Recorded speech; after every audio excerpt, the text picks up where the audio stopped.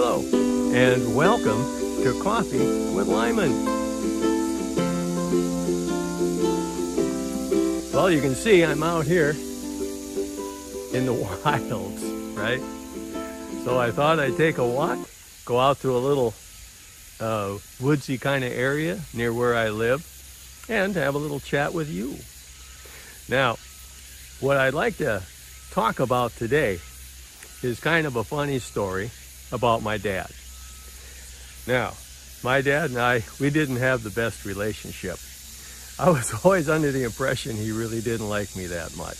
I'm not sure why, but he didn't. So, anyway, uh, there was a fair amount of verbal abuse, very little, if any, physical. So, yeah, I, would say, uh, yeah, we just didn't hit it off. But we did have our nice times together too.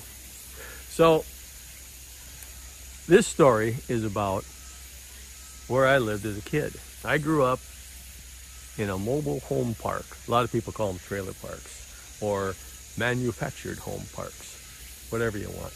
Anything over 29 feet long is a mobile home. Less than that, it's a travel trailer or a trailer. Anyway, we lived in a mobile home in a big mobile home park on the east side of St. Paul, Minnesota. Its name still is there, Landfall Village. But at that time, it was privately owned by the Olson family, and uh, in later years, it became uh, part of the county uh, municipality. So, excuse me. To get on with my story here, in our mobile home, we had uh, gas heat. And the gas heat was piped in due to the courtesy of the mobile home park. So there was a little meter outside of our home, and however much gas we paid or we used, it was monitored there.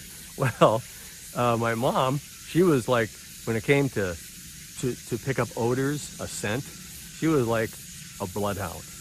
She, I can't imagine anyone having a better sense of smell than my mother. So anyway, she detected the smell of propane gas and in our home. So anyways, she gets my dad, go check that out. Well, what my dad did was uh, under a mobile home, all the way around from the bottom of the outside of the mobile home to the ground, there's a skirting. So it makes it so the wind can't blow through, animals can't get in under your home. It looks nicer, keeps the place a little warmer in the winter, that sort of thing.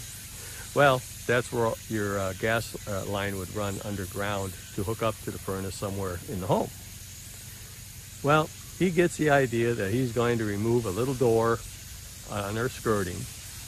He is going to take a lighter and get on his hands and knees, because that's all the room there is under a mobile home, and crawl inside that little door next to the gas meter and look for the gas leak. So I guess in his mind, what he was thinking was, if there's a gas leak and you have a match lit that, or a cigarette lighter, is going to, uh, you know, burn wherever that gas is. It'll make a little flame.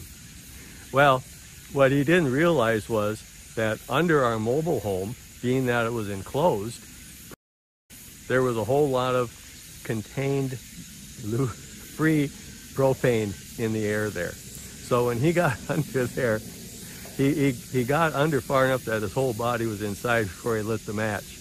My mother and I were standing outside, just kind of standing there looking at the event. And when he lit that match, we saw, all we saw was a big, we heard this, oh, and saw this big burst of flames shoot out from that hole and quickly followed by my dad's butt coming out backwards as fast as he could crawl. His eyes were were about as big as saucers. And he took his cap off and he was beating himself. He thought he was on fire. And what he did was he singed off his eyebrows. Well, as soon as the woof woof went and he started backing out, I started laughing. It just struck me like I was watching a Laurel and Hardy show. And it never even occurred to me he might be hurt. And my mom was standing there and she's looking at me and she's saying, don't laugh, don't laugh, trying to be quiet about it so my dad wouldn't get mad. Well, anyways, he gets out and he's beating on himself and all that. And my mom, while his back is towards us because he's on his knees, she takes me around the corner of the hall and says, stop laughing, stop laughing. If you can't stop laughing, go away. You'll make him mad. So I was like hysterically laughing. I thought it was so funny. So I went away. And that was just one of the things that was like, it was really mean of me to laugh. And I don't know why that struck me as so funny. I think it's because he was kind of a jerk. And then something like that happened. Another time, the poor guy in the middle of winter, he decides to crawl up on an addition we had built to our mobile home. It was 10 by 20 feet and there was an eave built out over the exterior wall, right? So rain wouldn't run straight down, it'd run off, you know, like on a house. Well, anyway, on the eave, uh, ice had built up, and my parents were afraid that that was going to cause the roof to start leaking. So his idea was he'd go outside, put a ladder up under the eave, climb up the ladder, and bang, bang, bang, knock down that ice break it off, let it fall down, and everything from the roof could drain okay. Well, what he did was, and I don't know why, but again, I was just standing there watching him. I was like 12 years old when all this was going on. And he was, uh, he took his ladder, he set it on the ground beneath the eave, far enough away from the wall so he could, you know, get up over the eave, pound a little bit.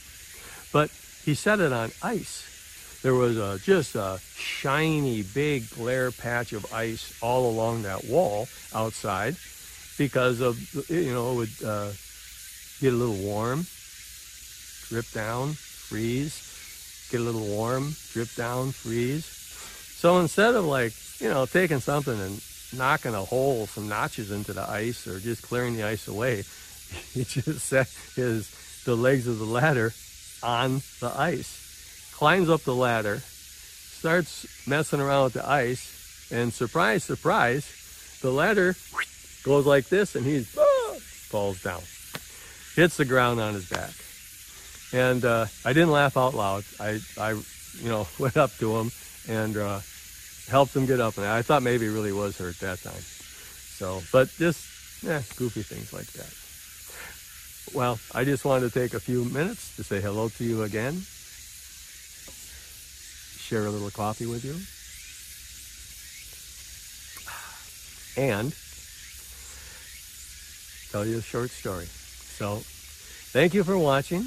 I look forward to seeing you again the next time. Goodbye for now.